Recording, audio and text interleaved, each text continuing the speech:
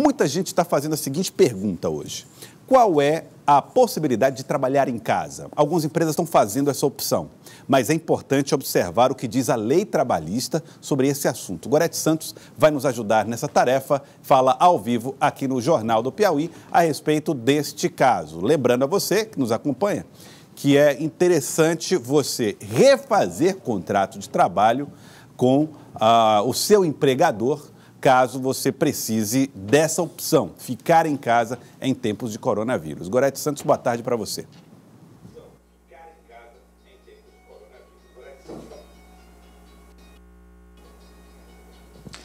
Olá, Joelson, boa tarde para você e para todos que acompanham o Jornal do Piauí. A gente vai trazer essas informações, tentar tirar as dúvidas diante da recomendação de muitas empresas para que os profissionais passem a trabalhar em casa nesse período da pandemia, né? Também servidores, vários aqui no estado do Piauí, já estão exercendo esse tipo de função.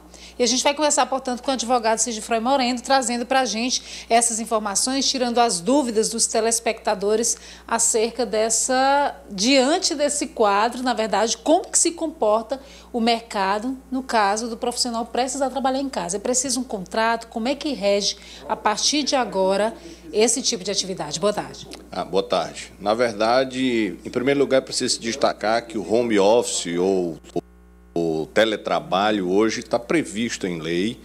Há uma expressa previsão na consolidação das leis do trabalho, depois da reforma trabalhista, a possibilidade de o empregado trabalhar em casa, produzir em casa. Portanto, essa situação que nós estamos vivendo hoje já está prevista em lei. Um segundo detalhe muito importante: a lei fala que o contrato deve ser formalmente alterado por escrito há necessidade de alteração do contrato de trabalho por escrito, prevendo essa possibilidade de o empregado trabalhar em casa. Só que nós estamos diante de uma situação ah, excepcional, digamos assim. Nós estamos diante de uma pandemia, nós estamos diante de uma situação que demanda que atuemos de, uma, de um modo diverso, entendo eu, perfeitamente possível. O que, que, que eu quero com isso dizer? É possível o empregado, a empresa permitir que o trabalhador, mesmo sem essa alteração formal no contrato de trabalho, mesmo sem essa alteração por escrito das regras do contrato de trabalho, permita que o, que o trabalhador trabalhe em casa, produzindo em casa, em circunstâncias específicas, mediante o controle da empresa em alguns casos, mas ele possa fazer isso de modo excepcional, até porque no contrato de trabalho, no direito do trabalho, vige aquele princípio do contrato realidade. Vale o que ocorre na realidade dos fatos, mesmo que isso esteja previsto de modo diferente, de modo por escrito, de modo diferente. Diante dessas circunstâncias, quais seriam as medidas para garantir os direitos, né, tanto do empregado como do empregador? Questão da carga horária, o ponto eletrônico, como controlar tudo isso? É importante dizer que, mesmo diante desses casos de teletrabalho ou home office, todos os direitos do trabalhador são preservados as obrigações da empresa para com ele e dele em termos de produção para com a empresa. É claro que nós vamos estar diante de situações excepcionais, como a dificuldade na fiscalização, por exemplo, da jornada de trabalho e do controle de ponto, porque há necessidade, por exemplo, de controle remoto desse ponto, se for o caso mas o patrão vai exigir produtividade, vai fiscalizar quanto a isso. O empregado, em que pese estar trabalhando em casa, deve continuar com, a, com essa produtividade. E há casos, Gorete, em que a produtividade até aumenta. É, os gastos são reduzidos e a produtividade aumenta. Mas a preservação dos direitos dos trabalhadores, as obrigações de todas as partes envolvidas no contrato de trabalho, esses vão estar sendo preservados. No caso do profissional não contar em casa com esses dispositivos, na verdade, não, não ter diante dele um computador necessário para cumprir aquela função específica. É obrigação da empresa, então, fornecer esse equipamento enquanto esse, esse funcionário estiver trabalhando em casa? O risco da atividade econômica continua a ser da empresa. É a empresa que deve disponibilizar todo o equipamento necessário para que, o, para que o empregado atue em casa. Ele não deve assumir essa responsabilidade. Essa é da empresa.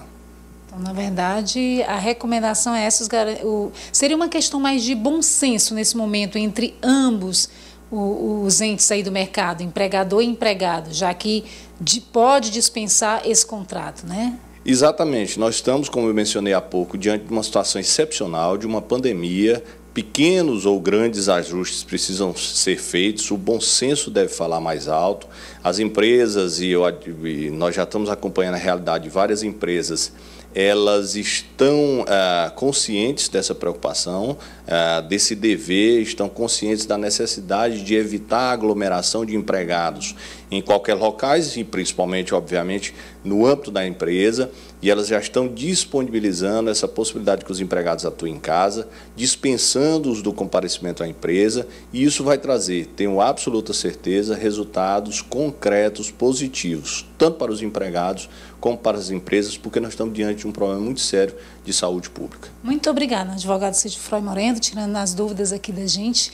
E claro, né, Joyce, ele falava das aglomerações, tanto na questão das empresas, a gente tem batido nisso, repercutido muito essa questão também das aglomerações na rua. Muitos funcionários que fazem o deslocamento dentro do transporte coletivo, que é uma outra área também muito complicada, porque as pessoas estão ali aglomeradas, não tem como se distanciar uma das outras. Então, todo cuidado neste momento é pouco. Joelson.